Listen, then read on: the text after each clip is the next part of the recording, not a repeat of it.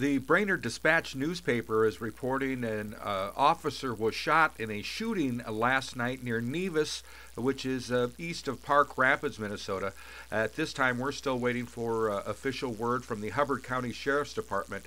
In the meantime, here's some uh, scanner traffic at the time of this incident last night. Detroit 2910 and 45.